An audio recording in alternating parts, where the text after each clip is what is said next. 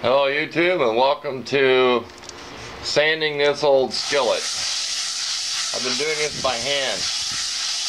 I did test with my four and a half inch grinder and it just did not work. I've seen it done on YouTube. Uh, you can almost, I could find it where it was just not flat, it would just make it wavy. I started with 80 grit emery paper. It'll show up aluminum oxide cloth. excuse me.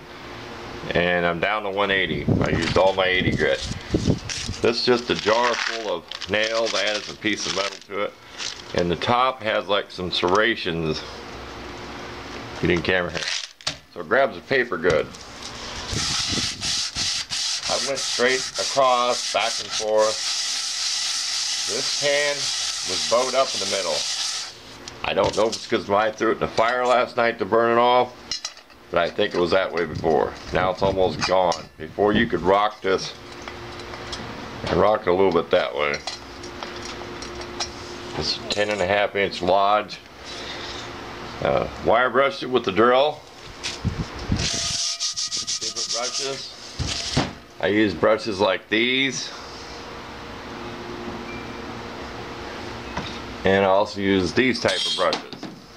Stuff falling off the shelf here. But this works good. You'll tear up your paper.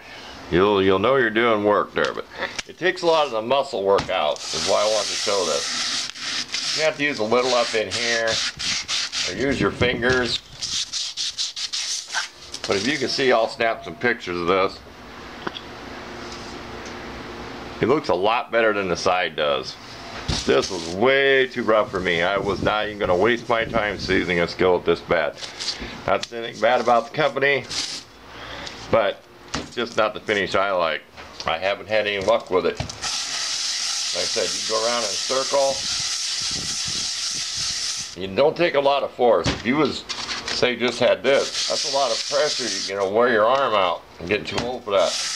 you could fill this full of lead. This could weigh five pounds. It wouldn't matter to me. But just so it isn't hard to move around.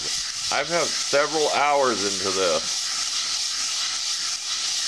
This isn't just a few minutes. I have several hours of taking a break, coming back doing this. So it is well worth it. And you don't need any power tools. And I think you'll get a better flat surface. Because I took that bow out of there that was in there. So, thanks for watching. I'll snap a couple pictures of this so you can see what it looks like. And you can try it yourself there. But I found this at Harbor Freight. Get it in a big pack real cheap. Better to use than sandpaper.